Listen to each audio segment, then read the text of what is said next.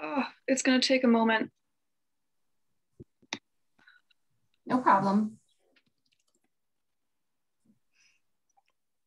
Apparently, I've never done this from this computer before, um, and I have to give it permissions. You're going to have to let me back into the meeting.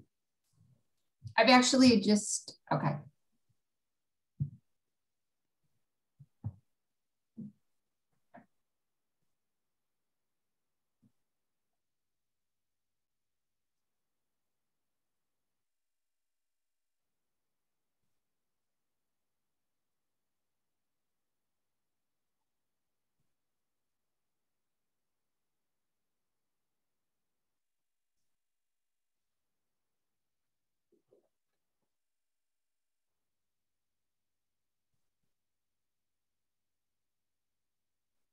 Looks good.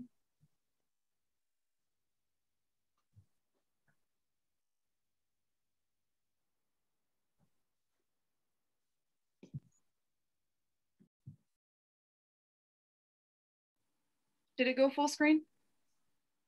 It is. Okay, good. All right. Um, I'm Maddie, and here we go. I actually tested this. I probably shouldn't go more than like 10 minutes. Um, and as a disclaimer, I'll actually, I'll get to that when I'm done. Um, so my goals for this project were first to learn what makes a good animation portfolio. I'm, uh, I was majoring in new media design and I switched to SOIS, of course. Um, and I'm focusing on motion design and minoring in psychology. So I wanted to focus on animation and my portfolio is not up to standard. So that was my goal for this, this project. Um, learn what makes a good animation portfolio and what would get me an internship um, or a job. Decide what work I need to make to improve what I have and create a new updated portfolio website um, and complete at least one animation project to put in it. Um, oh, I can't see.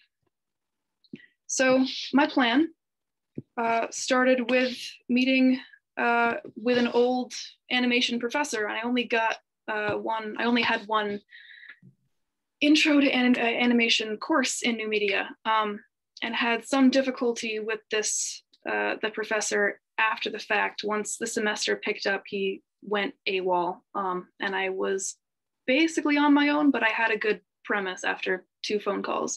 Um, he advised that I decide on two projects to complete by the end of the semester between 10 and 20 seconds because I want to focus on frame by frame, which is far more time consuming than other types of animation or marginally more time consuming. Um, lay out the steps of just for my own organizational purposes um, and to get to work. So I had to do a lot of additional research um, and review to do this, including the basics of frame by frame animation and how to, you know, when things move, they stretch and how to display that visually. Um, color theory, lighting and composition, which I haven't really worked with in depth this way, illustrative this way since freshman year.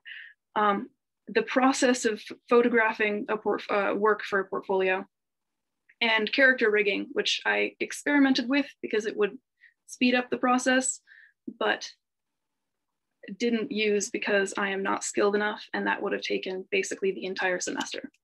So um, an animation portfolio needs the basics like any other portfolio that are examples of a good use of light, shape, color, composition, the other fundamentals, um, with examples of life drawing like still lifes, figure drawing, um, both human and animal, and a focus in, uh, in figure drawing, um, which I don't have.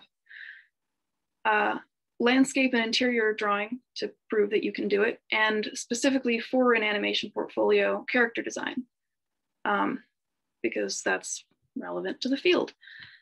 Um, examples of animation uh, would include walk cycles with those character designs. Um, and I wanted to include short illustration loops um, to demonstrate illustration and include animation. Um, and then a focus, which is also necessary, not just something I wanted.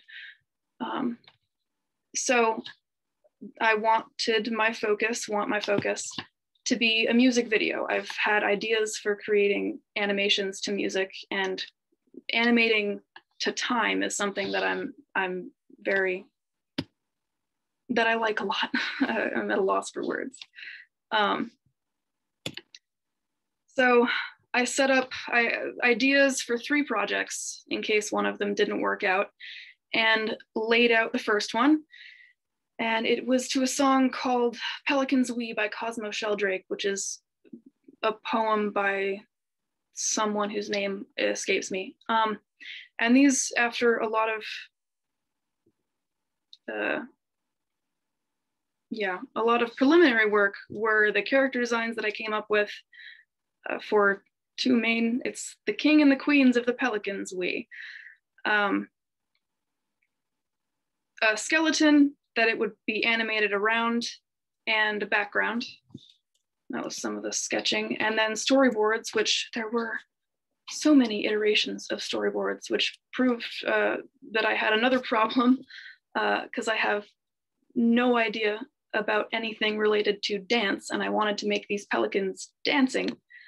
Um, so I had to choreograph pelicans and there were a lot of versions of that and took a lot of time and confusion. And then the final style test where I had examples of the colors I wanted to use and the way the lines would look and the way the pelicans would work over the skeletons that I made.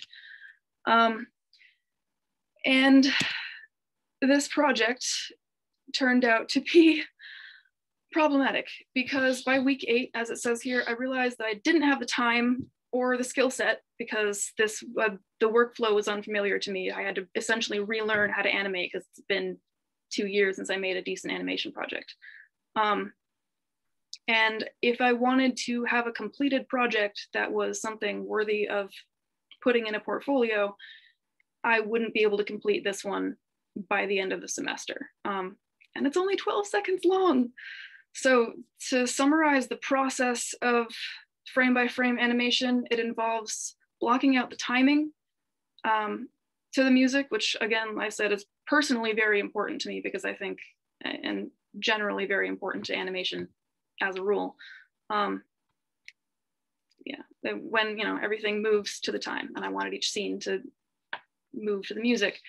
Um, sketching where the characters are gonna be, how they're gonna move, you know, the general um, doing a more refined sketch over that. So I'd have skeletons uh, and their actual shapes and working on how they'd stretch and how they'd uh, warp with movement, which is a detail kind of unique to frame by frame uh, versus other types of animation like 3D. Um, and then going over each frame with lines so that I'd have an outline to color in. And this was going to be 24 frames per second and I had 12 seconds, which I can't do math in my head, but was something like 400 frames. So I did not, uh, I, I did not realize how long it would take me to get to this stage. Um, yeah. And then of course the background is a whole step all in itself. So this is where this is where I was. This is just the initial sketch stage.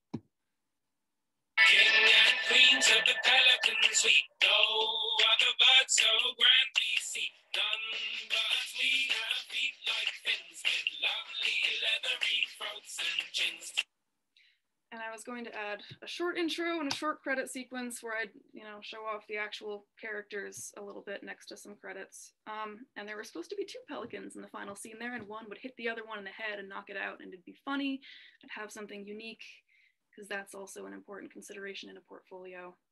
Um, whoop, no, don't play again. Go to the next. So pivot. Um, I'm in another SOIS class uh, about the intersection between comics and music. And the final project for that that I was already working on, uh, am already, yeah, I had, I had work already done for this by the time I realized that I was a little bit screwed for the Pelicans project. Um, and it is about, about the final project for that class is to create a comic that goes along to a song. So it's already essentially, you know, I can make a music video. Um, these were some of the initial, yeah, initial ideas, ideation, and sketches from two weeks ago. So my plan for this, and I'm a lot further along now, actually, um, was is to use each panel as a scene in a music video style animation. And the only thing that will be animated frame by frame is the whale on the final page. And this is six frames a second. So I've, I've updated that to 12 now. It goes a lot smoother. Um, not gonna be 24, but because the whale moves slowly, it'll look nice. Um, yeah, uh, I will have a project. It won't be the project that I wanted, and it won't be two projects like I planned, but I know what I'm capable of for the next two weeks. Um, yeah, that's that's where I'm at with that. And the portfolio itself is the last piece of this.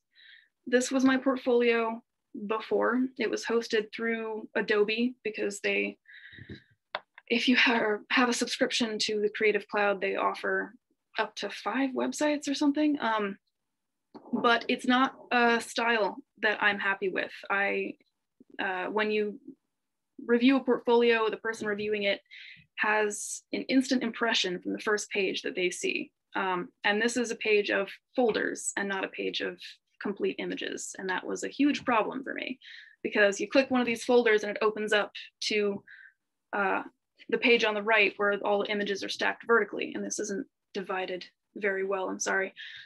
Um, yeah, but that wasn't the style that I was looking for. And a lot of the portfolios that I've researched and I've seen um, the ones that are used as examples of here's what a good portfolio looks like, they don't look like this.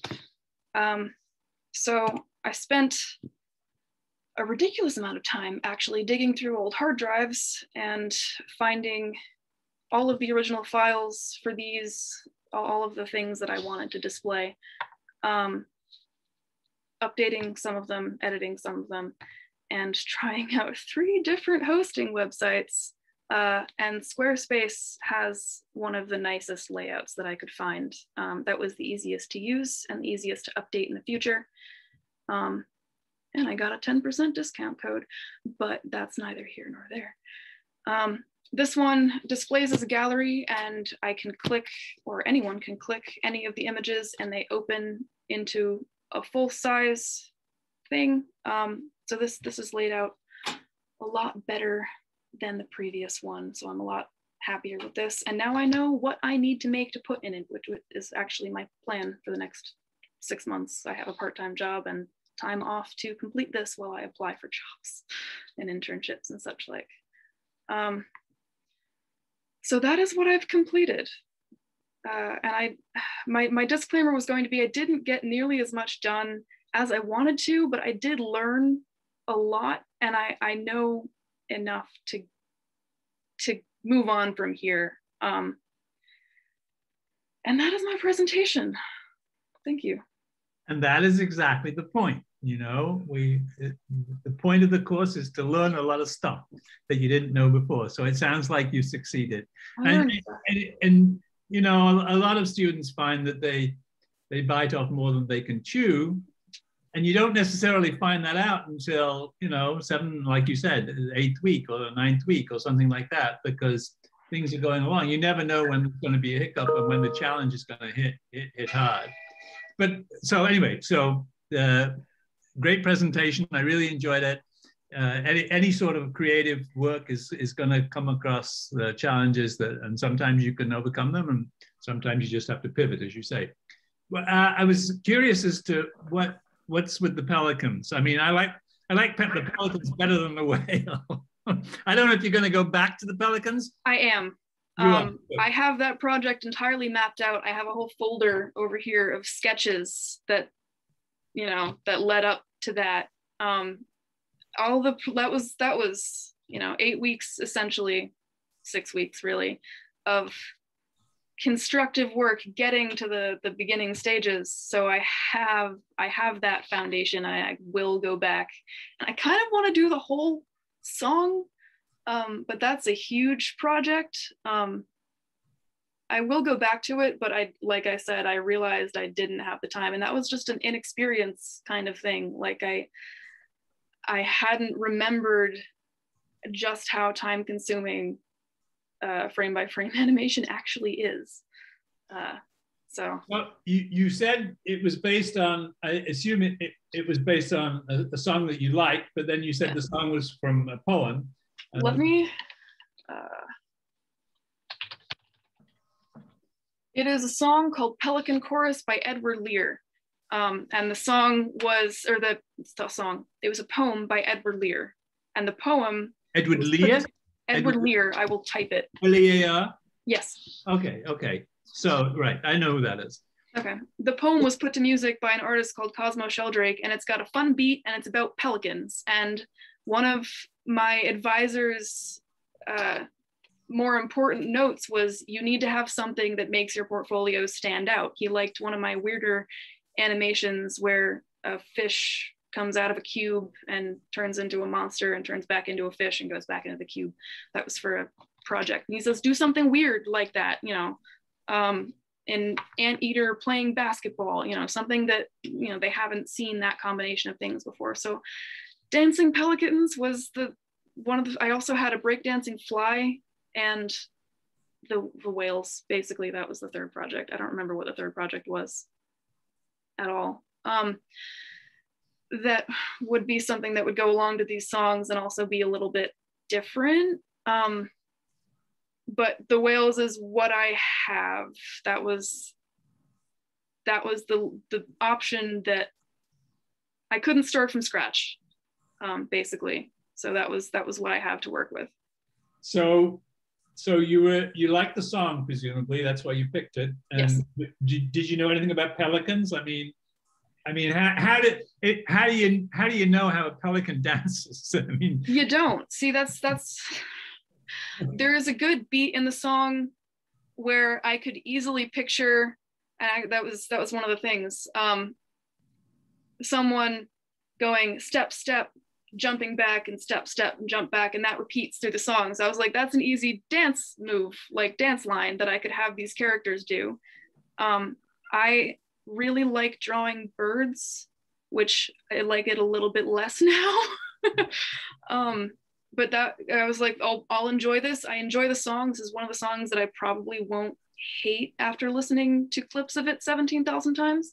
Um, and then I have a general understanding of bird anatomy and how birds move, and I could simplify them pelican enough um, I was also thinking about secondary movement and the, the stretching and warping that I mentioned with, with movement, because if you look at cartoons and stuff, when someone's moving really fast or they're having a really animated facial expression, you know, the whole character's face will stretch um, because that's part of the style that makes it seem more, more realistic, kind of like a motion blur kind of thing, but you got to do it with the actual lines. Um, that you're drawing, which is interesting to me. And I was thinking about the pelicans' uh, pouch bouncing when they nod their head, and I was like, that would that be kind of cool to animate. And it, you know, that was my idea that the, it would it would look nice and it would be fun and informative. And then I realized I didn't have time.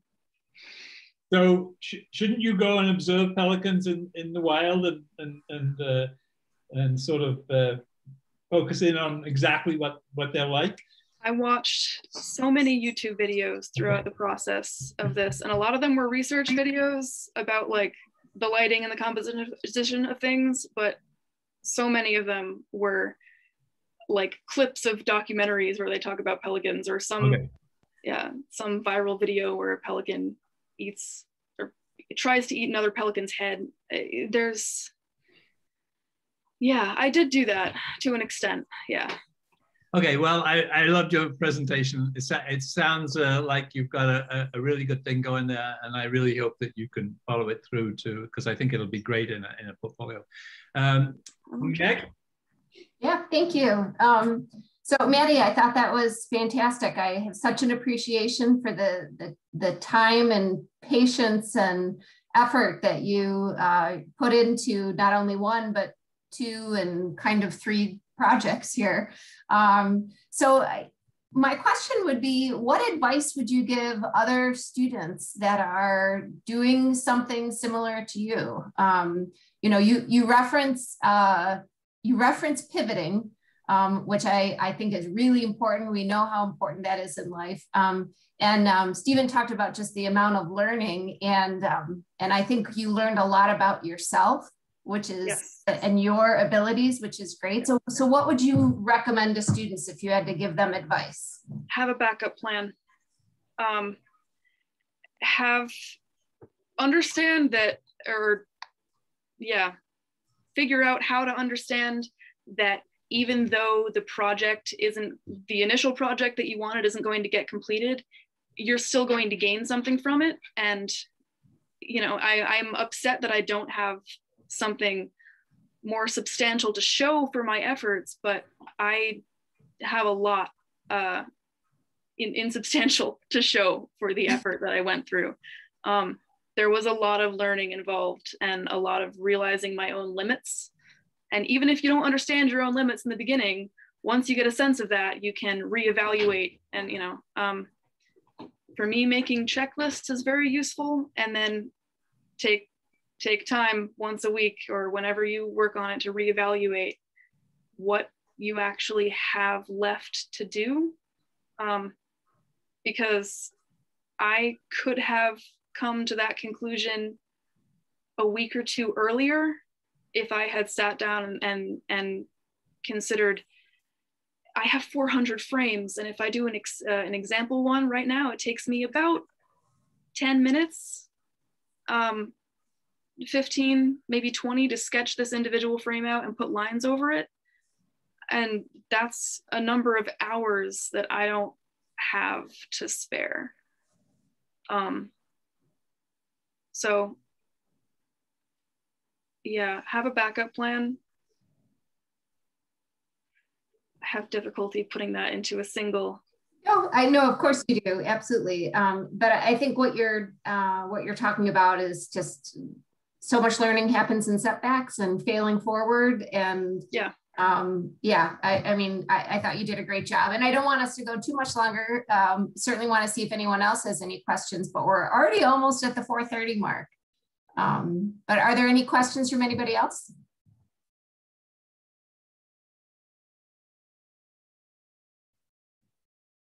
Okay then um, thanks maddie. And we'll just uh, we'll move forward with anna Awesome. Thank you. Can you hear me okay? Yes. Yep. Cool. Awesome. Um, well, great job, Maddie. That was really fun to watch. I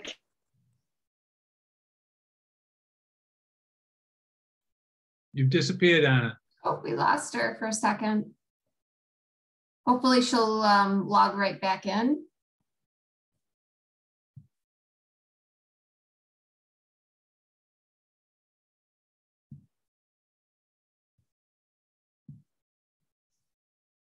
Hello.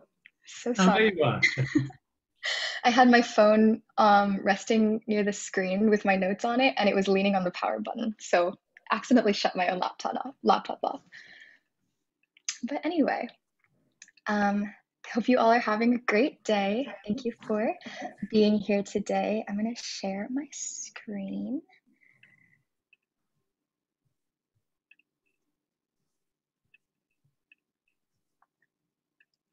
All right, can everyone see that all right? Yep. Yes. Perfect. good.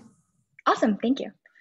All right, well, hello. For those of you who don't know me, my name is Anna Rose Layden, and the title of my project is You Don't Belong Here. And it's a website that I created to document the hateful incidents that have been happening to the Asian American community since March of last year. So it's essentially an online analysis of the spike in hatred towards Asian Americans that we've seen during the COVID 19 pandemic. So before we get a little bit too deep into the project, um, I'll talk a little bit about myself. Um, so I'm a visual journalism student here in the School of Individualized Study. Um, I have a really strong interest in news coverage and using different media like photography and video and social media and animations to make stories engaging and easily accessible to everyone. Um, the journalism industry is constantly evolving, and I'm really interested in exploring new ways to continue and share stories as both technology and the world as a whole develops. So for this project in particular, I really wanted to create one easily accessible, consolidated place for information about these incidents to be found um, and to help others kind of understand what's been going on um, within the Asian community in the past year. So yeah. So we're actually going to start with a quick video. Um, I'm going to play it, and it does have captions. So let's see. I think I can.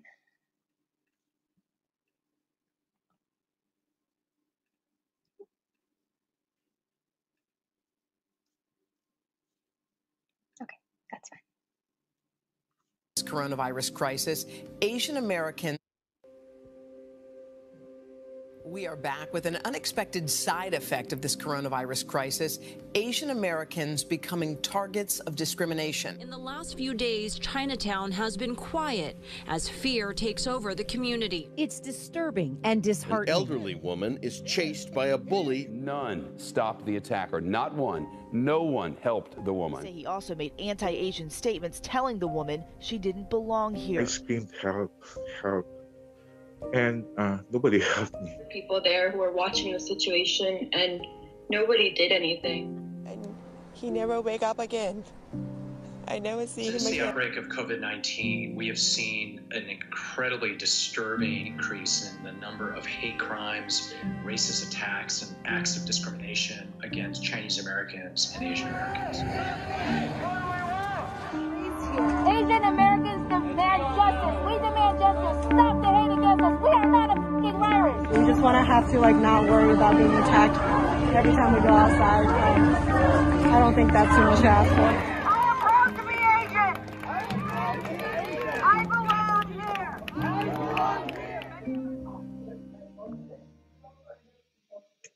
All right. Let's see if I can go to the next slide.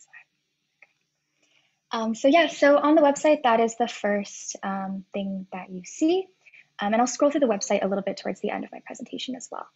Um, but yeah, so we'll start with a little bit of background about the issue that's been going on, and then we'll look through the actual project itself.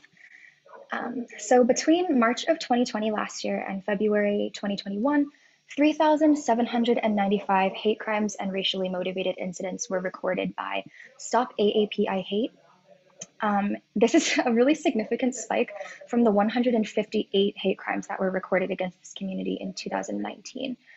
It's also important to recognize that this is information that's only gathered by one um, organization. Um, this was the most kind of consolidated information that I could find was through this center.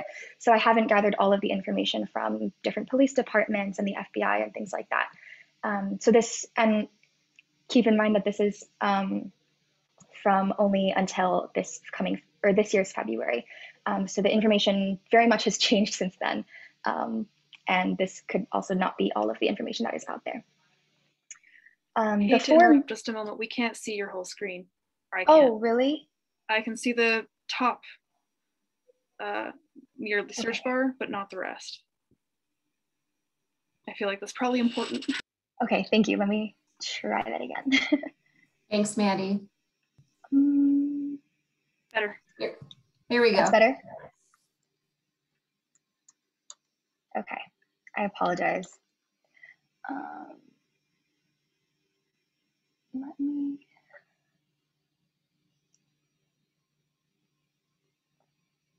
I'll just do it this way and then we'll be fast. Thank you for your patience. Okay. Um, so the four largest types of incidents that are recorded, I split up into these four categories. So the main ones are verbal assaults, um, shunning or avoidance, uh, physical attacks, as well as civil rights discrimination. Um, as you can see, these are the percentages of what those kind of look like. So verbal assaults generally involve things like um, being yelled, being yelled at, um, racial slurs, being called names, things like that. Um, shunning and avoidance generally means just avoiding someone physically solely on the basis of their external appearance, um, of their ethnicity or their race. Physical attacks are pretty self-explanatory. Um, and civil rights discriminations include anything that would um, show another person preventing someone from participating in any sort of activity or receiving any sort of service solely on the basis of their race. Um, it is also important to note that a lot of the events that happen are not reported. And there's a couple of different reasons for this. The two main ones that I'm going to talk about are the model minority myth and the language barrier. The model minority myth is a whole other topic that I could do a whole other presentation on. But essentially, what it is, is it's a term used to refer to a minority group, in this case, the Asian American community, um, perceived as particularly successful, especially in a manner that contrasts with other minority groups.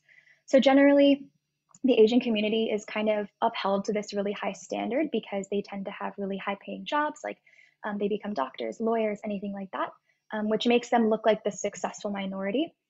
Um, which, because of this, um, a lot of people are raised to kind of keep their heads down, not cause any kind of trouble because they are, you know, raised with this kind of um, expectation from the rest of society to kind of, you know, mind your business and, and carry on with your life. Um, the second reason is a language barrier, simple as that. Um, many of the people who have experienced these attacks are elders who don't speak English as their first language, or just any person of any generation who doesn't speak English as their first language, um, and they don't speak it well enough to convey what has happened to them. So that definitely prevents people from reporting as well. So in terms of this project, the biggest question that I had to ask myself when I was working on it was, why? Why am I doing this? Why did I need to make this? Does this site add at all to the conversation about this issue? Which I hope it does. Um, I felt that a lot of the information that has been and is being spread about this issue is through social media. There is general news coverage of it, but the most um, the most that I've seen in general has been through social media, through a specific age demographic, um, sharing different posts and messages through Instagram, Twitter, anything like that. However, these are generally only effective for about 24 hours at a time and are seen by a very limited audience of people who follow that specific person. So if I don't follow someone on Instagram, I don't know that they're posting about it, and I might never know that, you know, this event or this incident has happened. Um, some of the accounts that I've been seeing that regularly post about these incidents are at Asian Feed, NextShark, and Asians with Attitude. So it's a lot of Asian oriented and um, run Instagram accounts and companies who specifically focus on this type of thing. So with, with regard to the actual deliverable, um, my first step, of course, was the research. For this, I looked at a couple of different databases. The main one that I looked at was this center called Stop AAPI Hate. AAPI stands for Asian American and Pacific Islander, and the center was created around last year specifically so that people who experience these acts of violence and discrimination are able to report them directly. Um, they're able to report in 12 different um, languages, including multiple Asian dialects and English. Um, so yeah, this was the most consolidated um, and statistically accurate uh, report that I've been able to find. So a lot of my work has been based off of that. But I have also looked at other news publications for their statistics that they've gathered, as well as um, police departments, um, etc. The process of gathering all this information was pretty time consuming. Um, I looked, like I said, at a bunch of different organizations. And the main way that I consolidated all of this information was into a calendar. So essentially, I did Google searches all the way back to last March, um, just looked everywhere I could and plugged all of the events that happened into a calendar. Um, and then I separated and identified all of these events by categories, I guess. So I separated them into categories and gave them labels such as physical, verbal, um, general offensive behavior, which could mean anybody just kind of being uh, disrespectful towards the community and the culture, um, as well as other significant events. Um, and then I also, unfortunately, had to label a number of them with injury or death as the outcome. Um, so I kind of noted which ones um, resulted in that income or outcome, excuse me. And now we go on to the deliverable. So like I said, the deliverable was a website. Um, keep in mind, I know absolutely nothing about developing a website. so this is a really, really fun process for me because I was able to kind of combine videos and photos that I found and different um, information and statistical information that I found um, into this one thing and also teach myself a lot about coding and building a website. So it was a really um, beneficial project, I would say, in a number of different ways. So this is the main page that you see. Um, this is Chinatown in San Francisco. Um, so that is the main homepage. You would click this begin button and head to the next page, which starts with the video that I showed you at the beginning of this presentation. Um, this video I did put together myself um, with a bunch of different uh, news clips, as you saw um, from different uh, organizations put them together. So you scroll down a bunch of uh, text to read, kind of context about the virus itself, the effect of the pandemic on the world, and then we get into the specific effect of the pandemic on the Asian American community.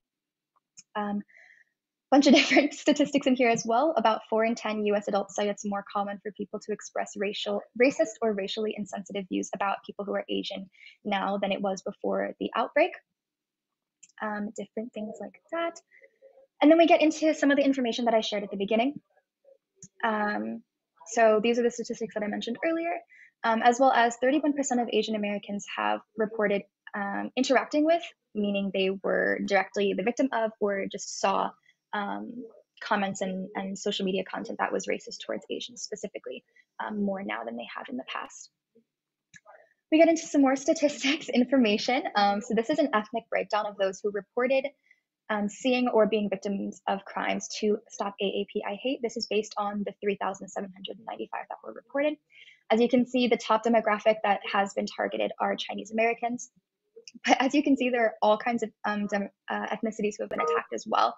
Um, Korean, general Asian, meaning unidentified. Um, someone may not have known what their specific ethnicity was. Um, Vietnamese, Filipino, Japanese, uh, white, Taiwanese, other, Hmong, Thai, Hispanic, Black or African American, and Lao. So these are all ethnicities that were um, targeted during these uh, acts of violence and hatred. We also have the age demographics of victims as well as the sites of discrimination in these pie charts. So ages between 0 to 75 plus are all in here. Um, the most common that is reported is um, incidents happening to people between the ages of 26 and 35 in which there were 842. This particular statistic, um, not every incident that was reported uh, had the age of the person who was victimized, so there are less uh, reports to go off of for this one, but that's what I'm going off of based off the information I was able to gather. And then sites, sites of discrimination include businesses, um, a public street or sidewalk, uh, online, in a public park, public transit, private residencies, at school, anywhere else, as well as in a university and place of worship. And then we move on to this map of the United States of America that shows you by state the percentages of um, hate crimes and incidents against Asian Americans that have happened. Um, California has a lot of them, surprisingly, despite how diverse the majority of the state is, with 46.36% of the attacks. Um, but yeah, so this allows you to just roll over each state and see specifically um, what the percentage of those are found in each state.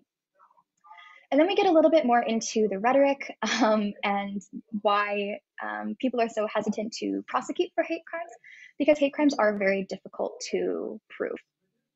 Um, get a little bit into the rhetoric, have some tweets that were put up by the previous president of the United States, um, where he uses the terms China virus, Chinese virus, and Chinese plague um, which his use of that rhetoric um, can it the spike in hatred and violence can't solely be blamed on this person, but it definitely did not help. Um, definitely contributed. So, and then next we move on to a, if it loads, a full timeline of all of the incidents. Um, this part of the website is still in a developmental stage. Um, so I will be finishing this to my satisfaction um, after today. um, but this is basically a pretty in-depth timeline of all of the events that have happened, um, starting on March 1st um, of last year and going all the way down until last week. Um, once this is finished, each of these read more pages will take you to a separate page where I basically break down the incident and include like pictures or videos that were captured as well as um, like social media comments Right now, it just takes you directly to an article that talks about the incident. Um, so it's a little bit more cut and dry right now. Um, so yeah, lots of, unfortunately, unfortunately, lots of events to cover here. Um, and every incident where the coronavirus was a specific uh, inspiration, for lack of a better word, for these attacks, um, each of them are noted with an asterisk. Um, so where COVID was a proven or obvious motive, um, they are noted with that asterisk. Um, so yeah, this is basically my entire project. And then we just have like the page about me. Um, and then we go back to the beginning and you can read through it all again. So Anna? yeah, that's yes. Uh, so um, I've been told that uh, uh, Nick is using an interpreter, and I've been told that the interpreter needs to leave at five. So Okay. if it's okay with you, I would like to hold on your portion of the Q and A. Hopefully, you can stay until after five, and so that we could go right to Nick now, so that he has the benefit of the interpreters at least for his presentation. So Yeah, I, absolutely. I apologize for that, but I, that's not something that I was expecting. No worries. No worries. Okay, Nick, you're on. Okay. Push this button, this here, and then click this button. I'm assuming you guys can see this, so it's coming up. Move this and put this over here. Load.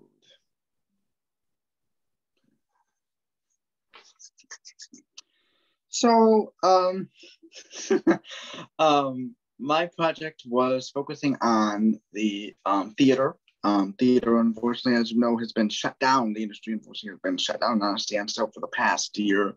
Um, you're going on, you're almost year, year and a month now. Um, and it's unfortunately put a very big um, hole in a lot of people's lives who normally work in that industry directors, designers, artists, performers, anything um, anything in that area, even to what we wouldn't think like um, marketing companies who work with the theaters, who work with them to put to create marketing campaigns for their shows, all that. Other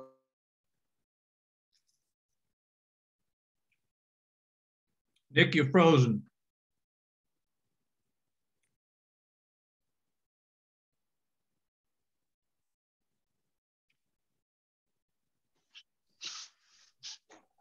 Nick, you frozen. Sorry, but I don't know what just happened. Can you see me okay? I can see Anna. I can't see you.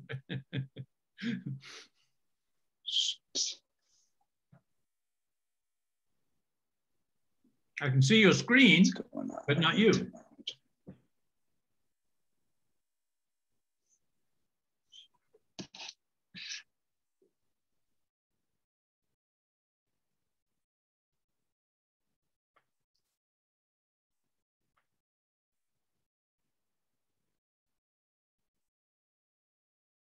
Okay, now I can see you.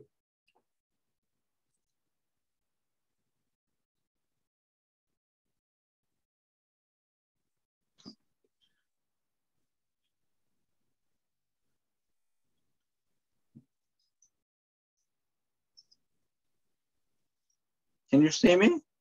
I can see a picture of you. I can see your photograph, but I can't see you in person. And I can still see your screen.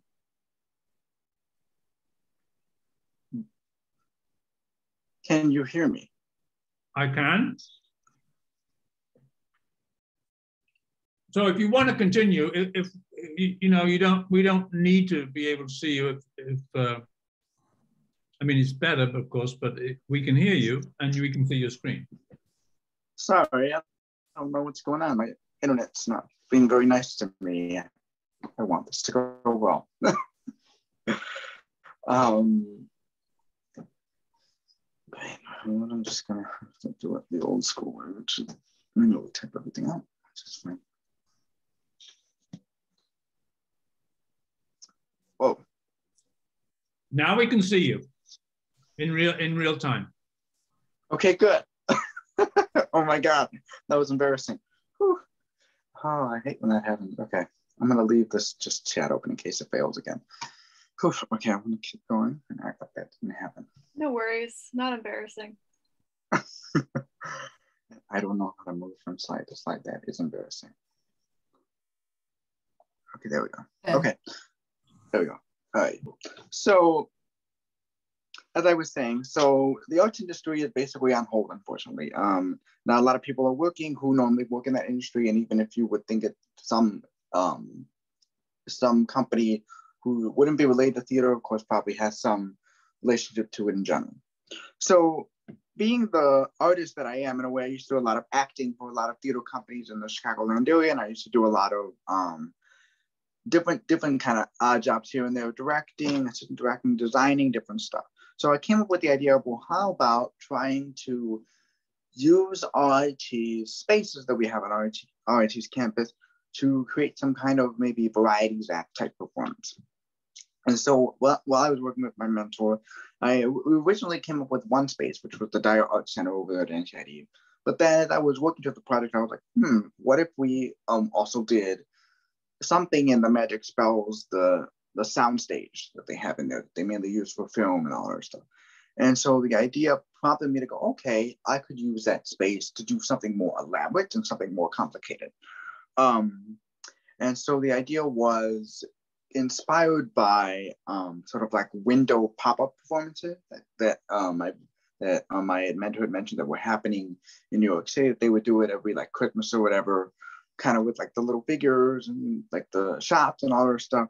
And now that they've been um, that sort of phenomenon has been sort of transferring itself to theater where you would go and you would walk by and see somebody performing behind a piece of um, glass in some kind of store setting or at, at a at a um, maybe at a mall or something like that. So the idea clicking, oh, okay, this might be something I could work with. So here's obviously a picture of a Dyer Art Center. And I, when I was working with um, the Dyer Art Center people and talking with them and negotiating and figuring out when would this be possible to do, because I had explained to them at this point, I liked the I, I would I like the would like the idea to be on campus. Unfortunately, as you probably can guess, I'm not on campus. Unfortunately, I'm I'm over here in Chicago, so I did everything um, preparation, everything remotely, and planning and logistics and all stuff remotely, which kind of taught me a little bit more about what it means to be a project manager and how there's some skill sets that I have and some skills that I don't. and I think that kind of will change as I get older and go up into the work world with a variety of different um, skills that I need. So I originally started with thinking the dialogue channel. So I was talking to the people and they're like, well, um, this is how much it's going to cost for how much time you need. And so um, I was like, okay. And so we had worked through that. Then I had also thought of the idea of the Magic Spells Studio Again, on my picture, found it off the internet.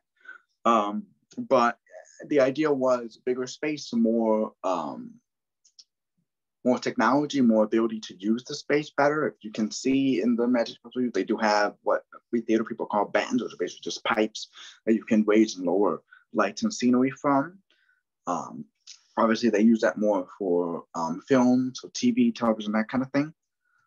Now, going back to the Dyer Center, because that was where my main focus was, and then I kind of shifted to the idea of those other spaces on campus that we could use, was um, for the Dyer Art Center. And I had reached out and they had explained to me, and I kind of told them my parameters of what I was thinking time, rehearsal time, tech, that kind of thing. And they had told me that overall, for 120 hours over six weeks, including the tech and the final dress, would be about um, $3,600. Um, and so I said, okay. So I mentally put that in my head. And as I started kind of talking um, with my mentor and going back and forth and trying to figure out how would I fund this. And so she had recommended, well, for now, um, we should try and figure out ways to um, look at options where maybe you don't have to necessarily spend too much money, or maybe it's the only thing you're paying for is the rental of the space. And so we started brainstorming different ideas, and you know, she had recommended to me to maybe work with um, the president of NTID to try and see if maybe he has a discretionary fund. And so I, I intentioned, I reached out to him, and of course, because of the business and everything, I never actually heard back, unfortunately, from their office. Um, but so the, there are other ways to make this more cost effective or less less expensive if needed. Um, and so that's kind of the idea was trying to find a way to put cost perspectives in mind and also um, in the process of kind of learning um, about how do we how do I put on a performance with maybe not so much of a budget, or how do I figure out a way to utilize space that's already there. Um, it was a challenge to kind of work with that space from a design from a design concept. So um, I, as I said earlier, this would be more of a variety act type of thing, where you would kind of people would probably maybe sit down outside the Dyer center. The idea was you'd have chairs outside the Dyer center on the three sides and then the forums would take place in the middle of the space, and that's how it would be done. Um, and they had told me that the, I was bumping into some challenges. They told me that if you wanted to do this in the fall when you were back on campus, that's great, and we would love to help you with that. the caveat is you wouldn't have the entire art center to use. Unfortunately, because they were having a, the, the time they were having a show, uh, gallery show. So I was like, okay, that's fine. I can I can make that work. And they said, you know, we're, we're, we're happy to support you anyway. We need to. You just might have a limited space. So I had to process that in my own mind. It's a little bit of a setback, unfortunately. Um, but it wasn't all that bad. And so I had, when I was talking with my mentor, I realized that COVID is bringing people down a lot. And we see a lot of issues of sadness and depression and mental health is on the rise because of COVID. So the theme I thought for the for the performance or production would be relating to hope and light at the end of the tunnel, that kind of thing. Um, and so I thought it would be kind of working with um, NTID's um, director, uh, not director, I'm sorry, dance coordinator, um, Thomas Warfield, having him incorporate a dance piece and working with different um, groups within RIT and also exteriorly um, to make this a um, well-rounded idea and, and um, well-rounded um, project. So I went ahead and I just kind of did some basic um, designing floor designs of what I would like to see in the space. So the little the little one over here on the um, on this side of the page here is for the um, for the um, art center specifically, um, with the idea that it would be kind of taking place in the round. Would that work?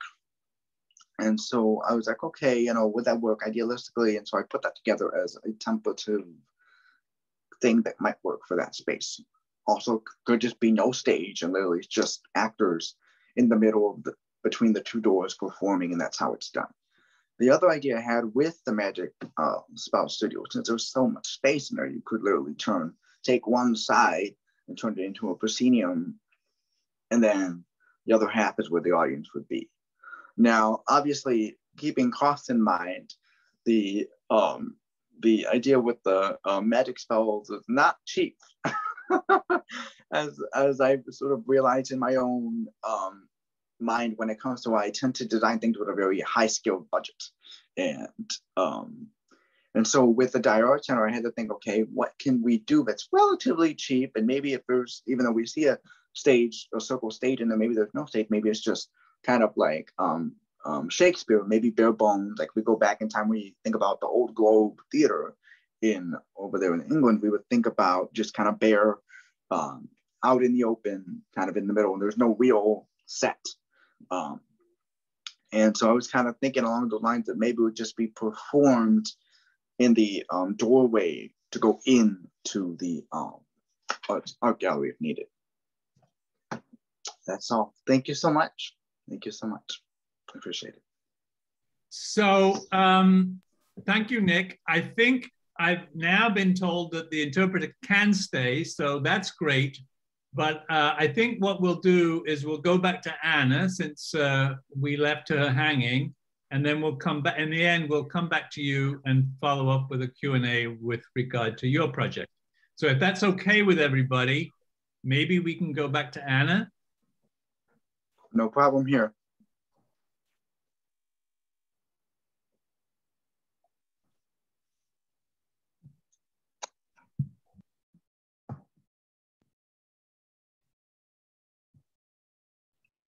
Hello. There you are. Okay. Sorry about that, Anna, but these things happen. Totally fine. Totally fine. That, thank you for being flexible. Um, again, Meg, I've forgotten. I, I don't know whether it's supposed to be you first or me, but I'll go first. Um, so I think you you mentioned this, Anna, in your presentation. Um, you you touched on it anyway. So, is this is the is the discrimination against Asian Americans, did that begin with COVID or has there always been a certain degree and it's just gotten worse? Yeah, so there definitely has always been this kind of like otherization of the Asian community in the United States. It definitely did not start with COVID 19, unfortunately. I hate that I have to say that, but yeah, the kind of discrimination against and yeah, the discrimination against Asian people definitely did not start with COVID, but the pandemic and the origins of the virus in Wuhan, China definitely made it worse in 2020 and 2021. Looking at your timeline, which was amazing. I, I mean, I can't, you know, you scroll through it very quickly, so I don't know how many uh, individual um, incidents you've recorded, but that, I, I, mean, I don't know whether anybody else has done what you've done, but it, it sounded like you've really done an excellent job of chronicling the whole cycle. H have you noticed coming up to the present, is the situation getting worse? Flattened out? Or is it, uh, uh, are people not, not, you know, getting, it's not so bad now? Or how is that? Yeah, so it's definitely interesting. Everything seems to have kind of happened in waves. So, right when the coronavirus came to the United States, it was really bad. Um, a lot of people going up to strangers and saying, Oh, where's your mask? You have the coronavirus. Like, you're Chinese, go home, don't spread it to people. Assuming that because a person is or looks Chinese, even that they inherently have it. Um, that subsided a little bit over the summer of last year and over the fall definitely were still a lot of incidents um, that were occurring, but definitely kind of slowed down, I guess. And then it resurged again at the beginning of this year. Um, some people, researchers, think that this is because it's coming. It's it had come up on a year since the pandemic had started, and people were kind of realizing that, that it hasn't gone away, um, and we're again um, kind of bringing out that animosity against Asian people again. Um, so it got pretty bad around February of this year um, after being not not such a high volume of instances for the past few months before then. What about so yeah, last, I kind of went in waves. What about the last month or so? The last month or so, um, there haven't been a ton of incidences that were specifically COVID related, which is which is very good. Um, but there there definitely were were still um, you know instances that came up and some that were some that were physical um, and some that were online some that were verbal. Um, there's one particular one that um, showed a, a woman on facebook writing these awful derogatory comments about a two-year-old chinese girl on facebook um, saying these awful things about her and her appearance because she was chinese saying that she you know things like that just because she was chinese. Um, there was a man just last Friday who was brutally beaten and put into a coma by a stranger in New York City. Um, he was an elderly Chinese man. Um, so there's been no clear motive of the pandemic um, for some of these, which is I wanted to be very clear that not all of these were proven to be solely be motivated by anger about the pandemic. Um, but the spike in in animosity towards this community um, as a whole has raised significantly. Um, would you then. Would you explain a little bit more?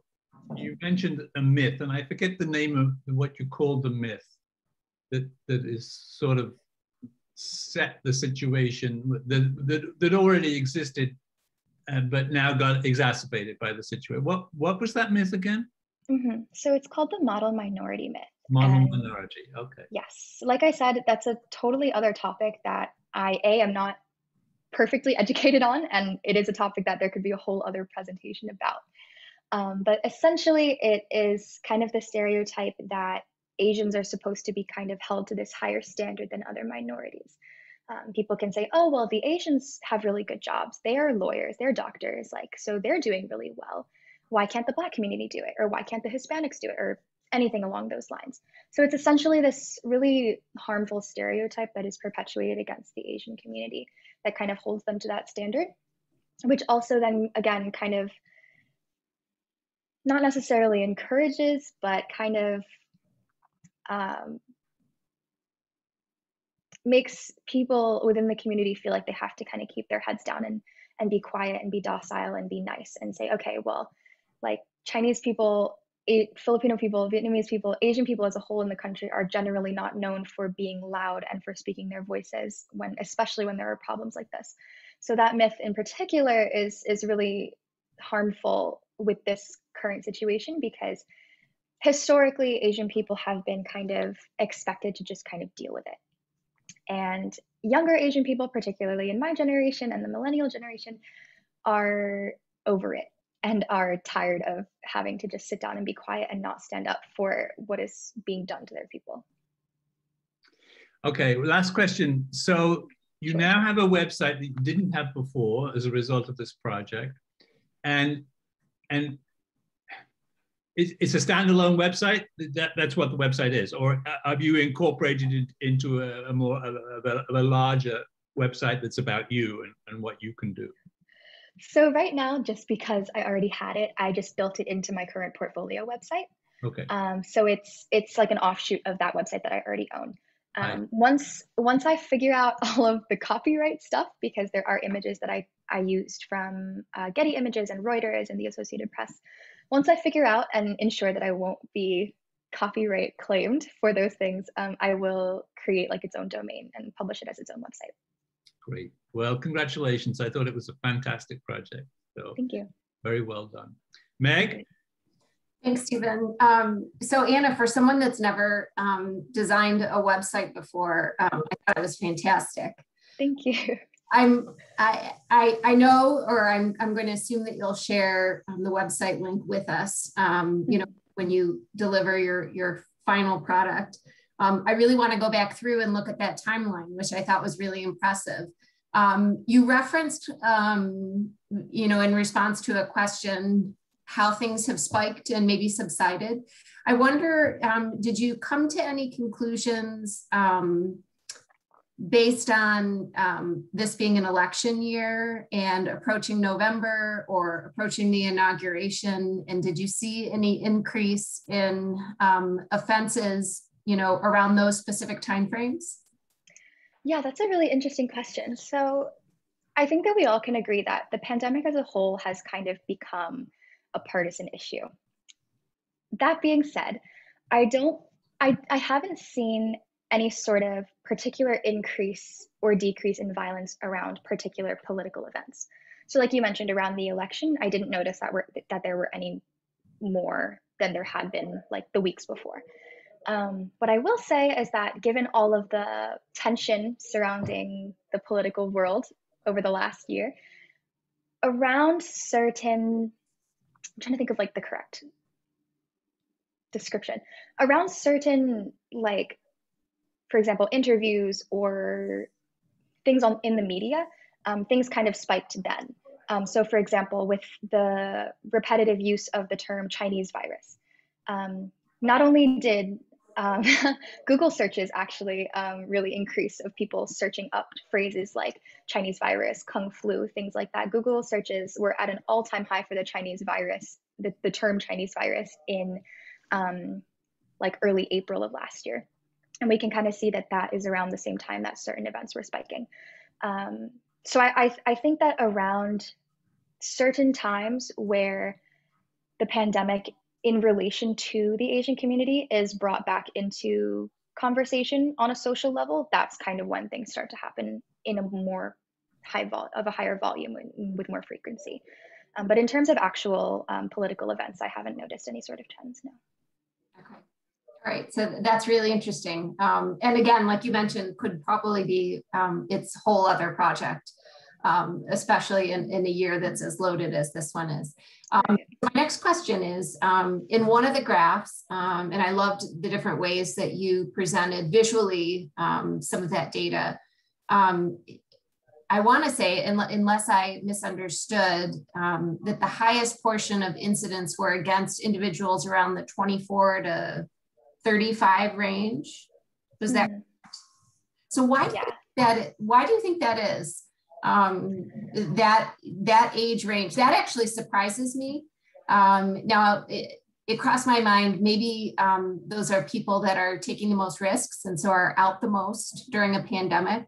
Um, or um, you know i'm not sure maybe older people like you mentioned are not reporting those instances so maybe they report at higher rates. So i'm just curious what your thoughts are on, on why that demographic is so high Mm-hmm. Yeah, that's a that's a really good question. I think that I think that it comes down to two factors, like you said, um, the demographics of people who are actually doing the reporting, and I think social media also has a huge impact on this as well. Um, people the ages 24 to 36 probably are more likely to find resources for reporting these incidents and are therefore more likely to actually do it. Whereas, like I said, elderly people might not, um, might not be able to, might not know how to. things like that. Um, and then with social media, I think that a lot of the events that are being talked about and that are being easily found and um, learned about are because people are recording them and putting on social media.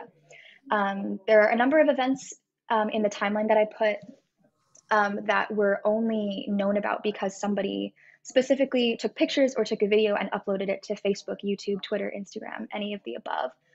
Um, so I think that that demographic probably is the most likely to record something happening to them and then post it and say, this is not okay, this is what happened to me.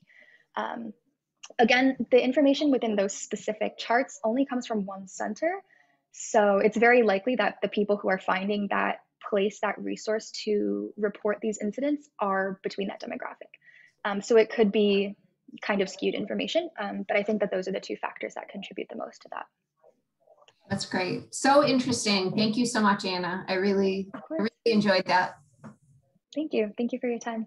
Does anybody else have any questions? I got a question here for you.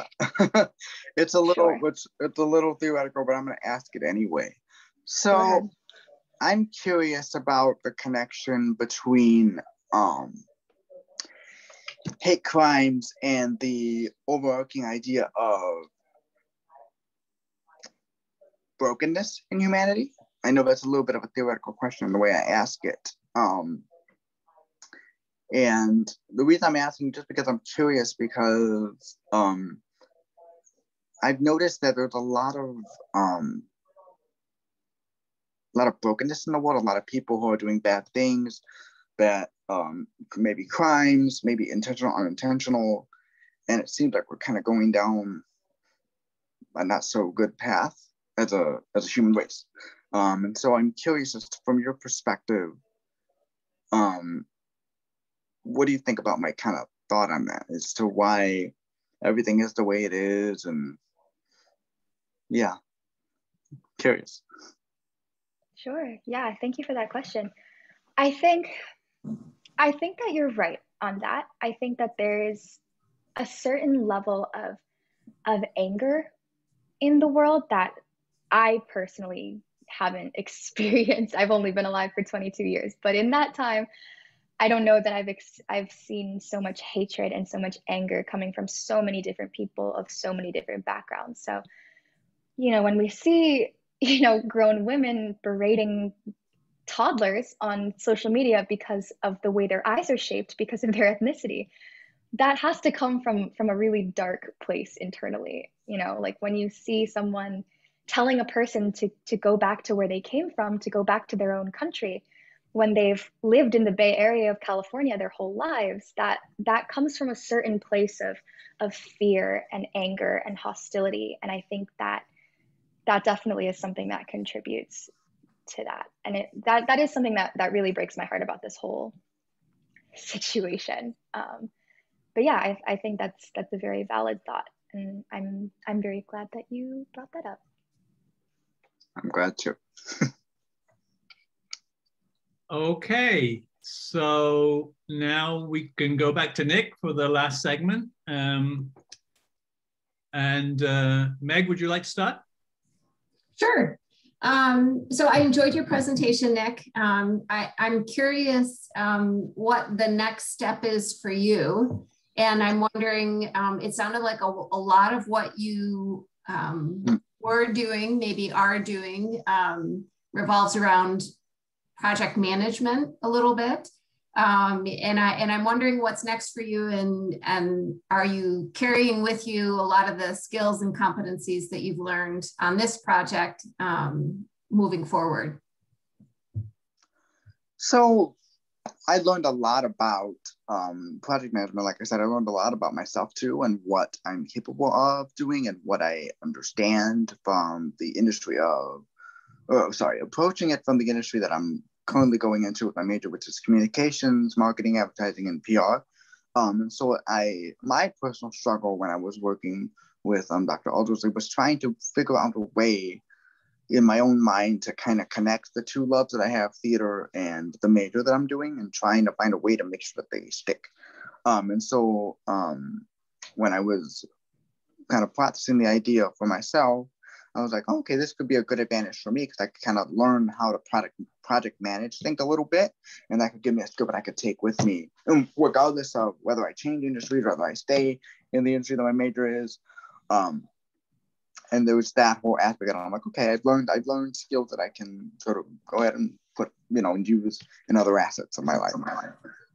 Um, and that I consider that a very good thing. Um, I'm so sorry. Can you repeat the, the question just so I can make sure I've got the answer out right? No, I, I, I think you actually did. And, and my question was, um, you know, what you plan to do next and maybe how you're going to use some of these skills that you learned and translate them into um, another, another mm-hmm. project for yourself, hopefully full-time employment if you're graduating. um, that's that's the goal, right? That's always the goal to find future work and move on to the next stage of life. Um, but um, to answer your second part of your question more directly, um, I learned a lot about maybe just keeping myself on keeping myself on a task of sort of writing things down, putting things in a big ass big spreadsheet, making sure I've documented everything that needs to get done, and making sure that everything is there so that way when I look at it, I'm not going, oh, did I forget something? and so that was one big skill, but I'm going to take it with me of sort of just making sure that everything's there, everything organized so I can see what's going on. And luckily, um, previous experiences using project management tools for the internship that I've done have kind of helped me with what with this project and what what I am hoping to do potentially in the future um, with this project or the idea of that. That's great. Thank you so much. Stephen, of course. Toss it over to you. Um, Nick, I, I was uh, I was shocked to, to, that they were going to charge you all that money to use the Dyer Arts Center. I mean, you're a student at NTID, and why why were they going to charge you anything? I mean, it's uh, I just I'm, I think that was a hurdle. That. I think that was another hurdle that I'm that I'm definitely I've already incorporated into the paper as well. But just kind of the realization of because I was kind of expecting it along that way too. And um, my mentor Luann was telling me, you know, there's a possibility that they could they might not they might not charge you because you're a student. You're you're essentially a part of university. You're here. You're not some kind of outsider who's trying to use the university facilities. And so it was a little bit of a roadback and a little bit of a surprise to say, oh, I'm sorry, we're going to have to charge you. We're going to have to give you a rental. I'm like, okay. And it just as I was going through the process, it was kind of a hurdle. Of, um, I would love to see it realized, but there was a budgetary issue that comes into play at where do I get the money for just even to rent the space is, is the issue. And just that that kind of was a little bit a little bit of a hurdle going, okay, now I have to kind of step back a little bit and go, okay, who do I contact? Because when I was having those conversations with Joanne, I was going, who do I contact try just get a general idea of budgetary, how do I do that? And she's like, she recommended that I um, try and reach out to different clubs because they didn't do anything last year because of the pandemic. They didn't host any events, and to try and try and approach it from their um, from their aspect, working with um, with um, us at NTID. She had told me that unfortunately at this point they wouldn't be able to give any kind of money, but they would be willing to support the idea by giving props or chairs or anything I needed from a physical standpoint to make the production um, look somewhat somewhat um, nice and somewhat not bare bones. Um, and so that was what they were telling me that they would be able to contribute. Um, and I did reach out to some clubs, and unfortunately, I never really heard back. And I don't necessarily blame them because everyone's busy with school. It's the middle of a pandemic, and everyone's kind of just trying to stay in their lane of okay, let me get the school done, let me do this, let me do that, and kind of just and maybe in a way I've kind of realized that maybe this wasn't the best time to do a project like that just because of the pandemic being there. And it was it was a good idea, and it still is a good idea in terms of working with limitations that are kind of put on you a little bit and trying to make the best out of the situation as best as possible. Um, and so for me, I kind of learned that a little bit, just kind of in my mind, like, you know, well, you know, in in the future, if I was to do this again, I would do it, of course, non pandemic era. And maybe I would still incorporate some ideas of a pop up event, maybe in that type of setting where it's kind of maybe um, playing with the idea of a um, space that's not really used for theater, but you use it for that space and you transform that space to the need. Go ahead. Sorry. no, no, no, no. That was my question. So I, I'm not clear about what all what the components of the production that you wanted to make. You mentioned dance with Thomas Warfield, and you mentioned pop up the sorts of things that you know when you're walking through. Uh, I don't know uh, Times Square, you, and you mentioned the, the stores with with mm-hmm with uh, act, actors doing whatever they do to attract customers. So what what talk more about what you wanted to produce. So the so the overarching idea was some kind of performance in some kind of space that wasn't a traditional theater. Because of the restrictions of COVID, we couldn't really put anyone in a theater safely. Well, we could have, but then there's all the logistical hassles of oh, are they vaccinated? Or oh, are they this? Or are they willing to sit in a theater and wore a mask. And so there was that kind of issue um, that was kind of put, put in the situation.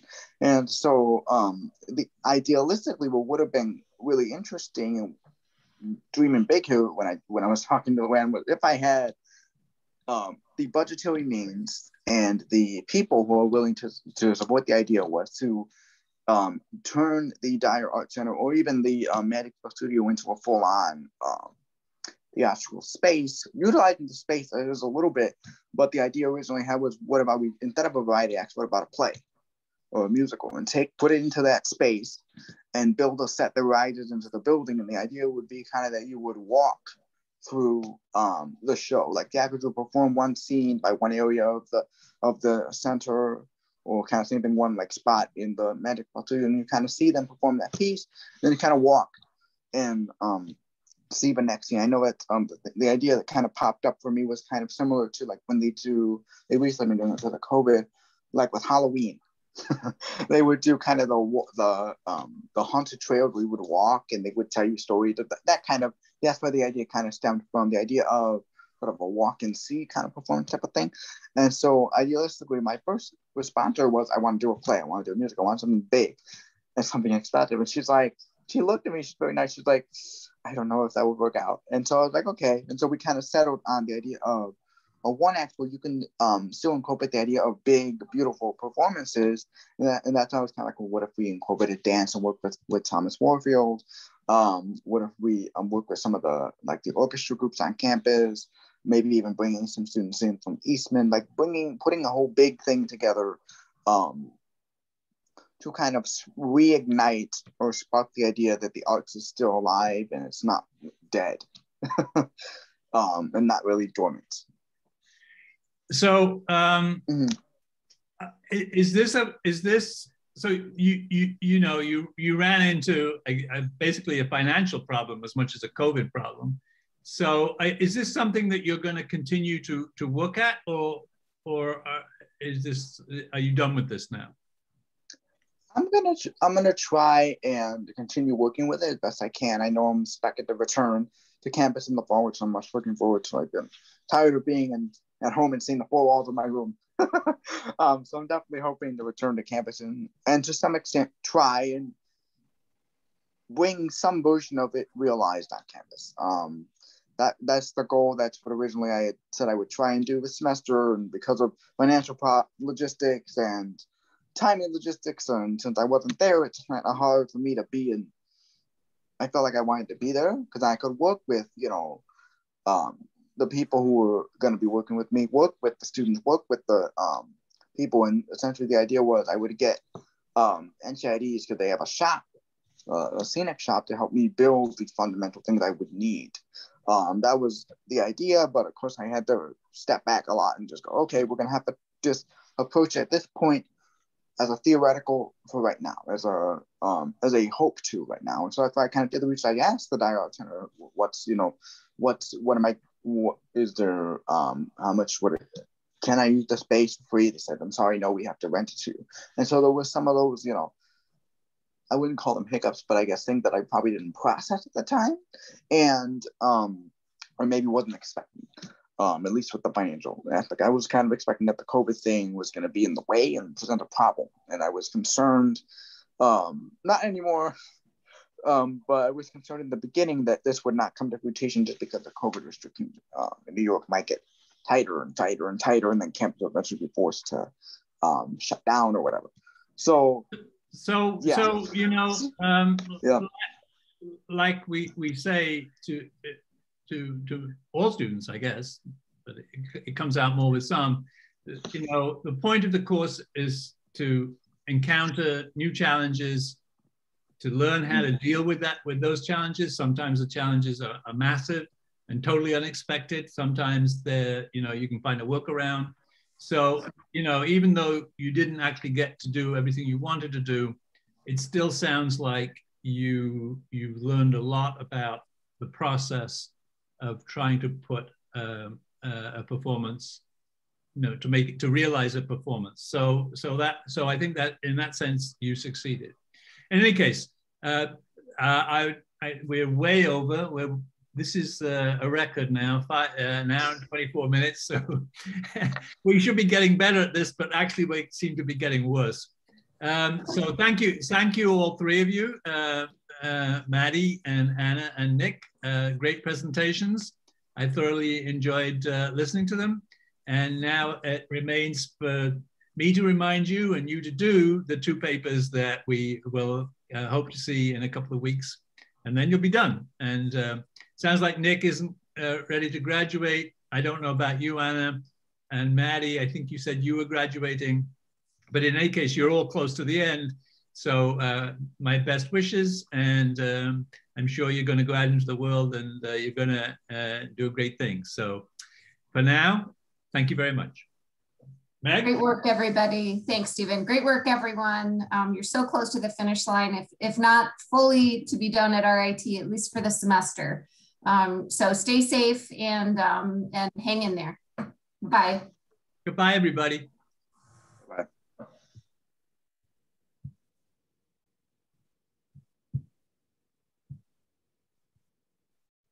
You're going to stay